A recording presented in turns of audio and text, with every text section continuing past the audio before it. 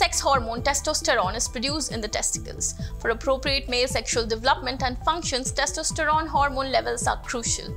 Hello and welcome to Medical Dialogues, your daily dose of health and medical news. I'm Mr. Zaman and today I'll talk about an animal study which finds that testosterone promotes cuddling, not just aggression. Aubrey Kelly et al. conducted experiments on Mongolian gerbils, rodents that form lasting pair bonds and raise their pups together. While males can become aggressive during mating and in defense of their territory, they also exhibit cuddling behavior after a female becomes pregnant and they demonstrate protective behavior towards their pups. In one experiment, a male gerbil was introduced to a female gerbil. After they formed a pair bond and the female became pregnant, the males displayed the usual cuddling behaviors towards their partners. The researchers then gave the male subjects an injection of testosterone. They expected that the resulting acute rise in a male's testosterone's level would lessen his cuddling behaviors if testosterone generally acts as an antisocial molecule. Instead, we were surprised that a male gerbil became even more cuddly and prosocial with his partner, Kelly said. He became like super partner. In a follow-up experiment a week later, the researchers conducted a resident intruder test.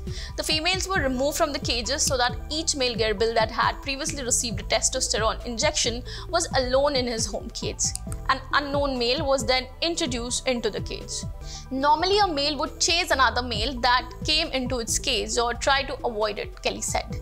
Instead, the resident males that had previously been injected with testosterone were more friendly to the intruder. The lab experiments, in a sense, slowed down what the males might experience almost simultaneously in the wild.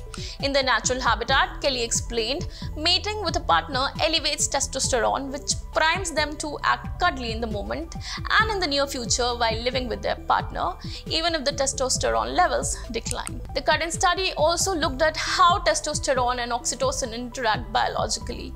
The results showed that the male subjects receiving injections of testosterone exhibited more oxytocin activity in their brains during interactions with a partner compared to males that did not receive the injections.